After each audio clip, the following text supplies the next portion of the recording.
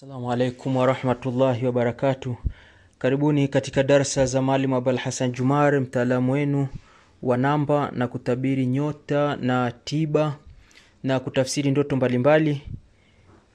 Kwa kujua matukio ya nyota zetu, leo tarehe sita mwezi wa tatu mwaka elfu mbili na ishirini na mbili kwa kipindi hiki mpaka tarehe ishirini ya mwezi wa tatu mwaka elfu mbili na ishirini na mbili ni kama ifuatavyo.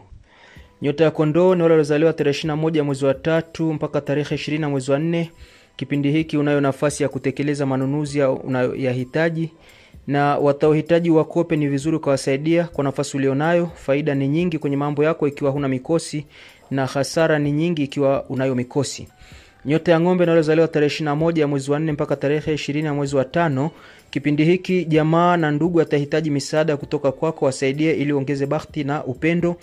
Utapoteza vitu vyako, ndoto nyingi zifanyie kazi au ufumbuzi haraka baada ya kupata tafsiri ya ndoto hizo. Na watu waliozaliwa tarehe 21 ya mwezi wa tano mpaka tarehe 21 ya mwezi wa sita ni nyota ya mapacha. Kipindi hiki ni muda mwafaka kuwasaidia wazazi au walezi kadiri ya nafasi ulionayo, na ni vizuri ukakagua makazi yako na utaongopewa zaidi na kadhalika, utaugua mara kwa mara. Ni vizuri kama tutawasiliana. Nyota ya kaa ni wale waliozaliwa tarehe 22 ya mwezi wa sita mpaka tarehe 22 ya mwezi wa saba. Kipindi hiki furaha zitaongezeka zaidi kwa wale wote ambao hawana mikosi, na wenye mikosi bado mambo si rahisi. Waliomo kwenye ndoa mtapata tuhuma nzito, ni vizuri tukawasiliana. Nyota ya Simba ni wale waliozaliwa tarehe 23 ya mwezi wa saba mpaka tarehe 22 ya mwezi wa nane. Kipindi hiki utaibiwa mara kwa mara, tuwasiliane utasingiziwa zaidi na utaibiwa pia. Uwezekano ni mkubwa kwa wanandoa wa chumba kutengana, ni vizuri mkavumilia au mkatafuta ufumbuzi zaidi. Nyota ya mashuke inayozaliwa tarehe 23 ya mwezi wa 8 mpaka tarehe 22 ya mwezi wa 9. Kipindi hiki waliomo katika ndoa mtagombana mara kwa mara, na ambao wanaohitaji kutekeleza mahitaji yao ni kipindi mwafaka, na wanaokudai ni vizuri wakalipwa madeni yao. Utapokea taarifa za kuitwa sehemu mbalimbali, mbali. ni vizuri tuwasiliane. Nyota ya mizani waliozaliwa tarehe 23 ya mwezi wa tisa mpaka tarehe 23 ya mwezi wa kumi. Kipindi hiki kila jambo lako halitotimia, ahadi nazo hazitotimia, mipango yako itaharibika zaidi, tuwasiliane. Nyota ya nge ni wale waliozaliwa tarehe 24 ya mwezi wa kumi mpaka tarehe 22 ya mwezi wa kumi na moja.